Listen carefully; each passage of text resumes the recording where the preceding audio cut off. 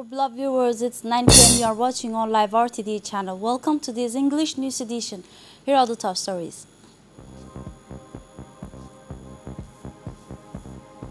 The Minister of Environment participated in the fifth session of the United Nations Environment Assembly.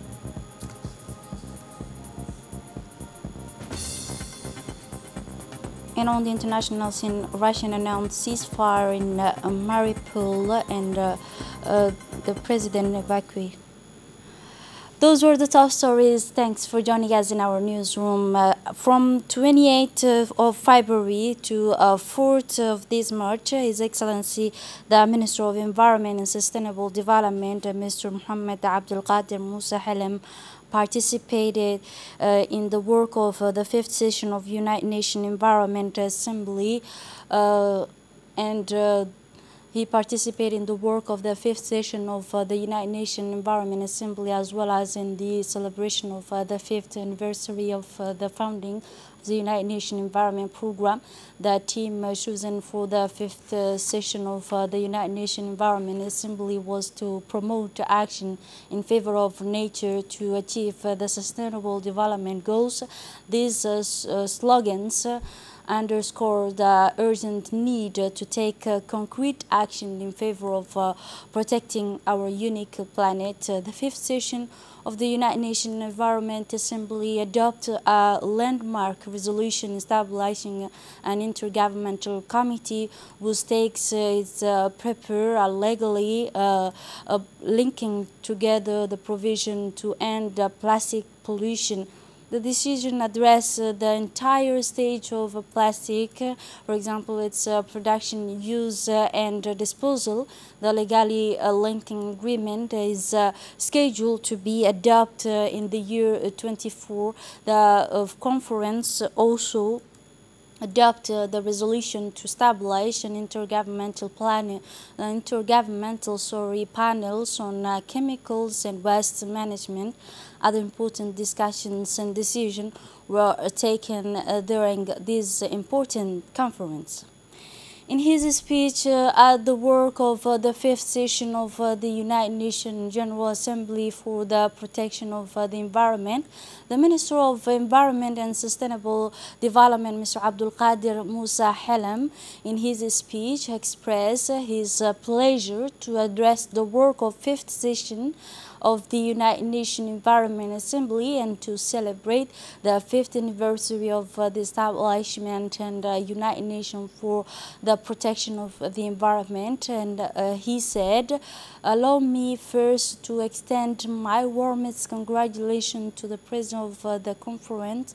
At the same time, I would like to thank the government and people of Kenya for the warm welcome by delegation has uh, received uh, my delegation has received uh, uh, since our arrival in the beautiful city of Nairobi. I also congratulate the UN Environment Secretariat for preparing all the necessary documents for the smooth running of our meeting. The team chosen for this session is strengthen efforts in favor of nature in order to achieve the Sustainable Development Goals. These topics underscore the need to take concrete measures in favor of uh, protecting our uh, dear and unique planet since the establishment of uh, the United Nations Environment Program, the world has changed a lot. it is clear that the living condition of the population have improved. We can note uh, in particular an increase in life expect, uh, expecting and uh, decrease in uh, illiteracies, uh, the reduction in poverty and uh, technological progress. On the other hand, the state of our planet is uh, more worrying today than uh, it was uh, 15 years ago, he concluded.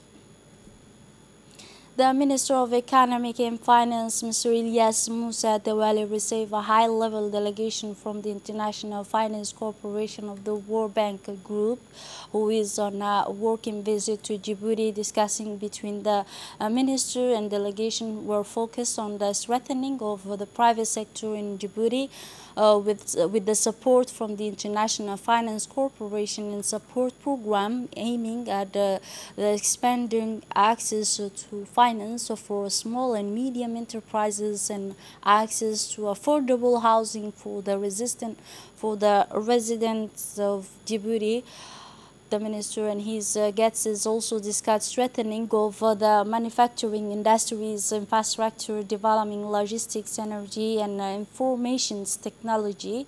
The IFC's strategy is aligned uh, with the government's uh, vision in 2035 development plan, uh, which aims to develop growth and improve the quality of life for citizens by increasing investment in the private sector. Under the auspice of the Minister of National Education and Vocational Training, the first district in the capital of Djibouti organized today the count editions of uh, the two-kilometer race in the Angela district. This uh, recreational day aims at raising awareness among young people of uh, combating delinquencies and drug. 15 elementary schools uh, complete, competed in the uh, two kilometers running race and students from the Al Haji Dide school won the first place for girls, uh, students from the uh, Freedom Schools got first, second, and third place on Angela School. The ceremony was attended by the Director General of the Education, Mr. Abdi Adirir, representative of uh, the Saba Bank, a team of uh, teachers in the school, parents and students, and member of the neighborhood council. Remember that sport is a true competitors to the social uh, integration and it is an important uh, component of uh, education and culture.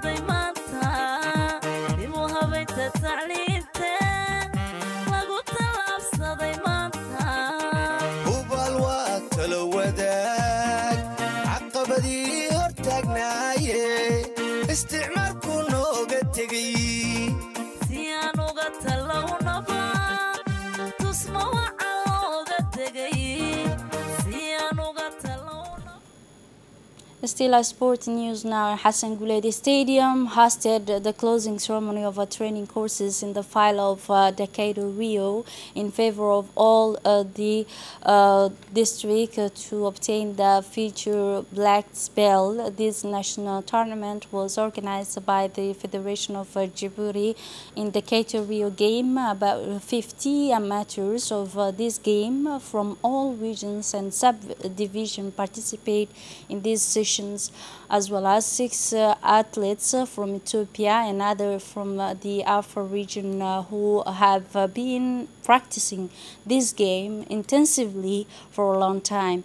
The courses was organized by the two international experts, Ms. Melanie and the the compound name uh, with the tree meaning uh, and the Keito Rio stands uh, for gathering.